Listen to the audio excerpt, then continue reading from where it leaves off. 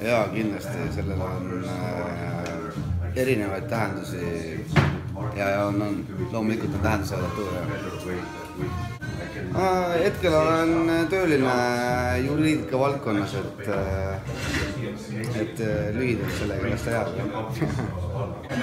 minuga on niisugune lugu, et ma olin üks see inimene, kes pani Piradose algusaastatel oma käe sellele asjale alla ja aitas poistel hoo sisse saada sellega, et ma olen Piradosega seotud olnud Piradose sünnist saati põhimõtteliselt jah.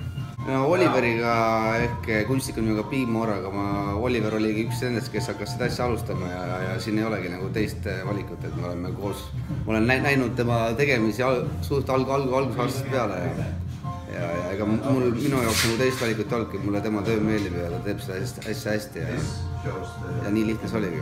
enesetunne, täna on juba täitsa okei okay., kui ma esimene kord siia tulin, siis ma olin ikka väga närviline, ma mõtlen esimene kord, kui tulin tätoveerima, siis ikka keha läks ikka täitsa hulluks nagu. aga täna nüüd tuleb seitsmes kord, et täna, täna juba ma tean, mis mind ees ootab ja see tunne on õige, ma tean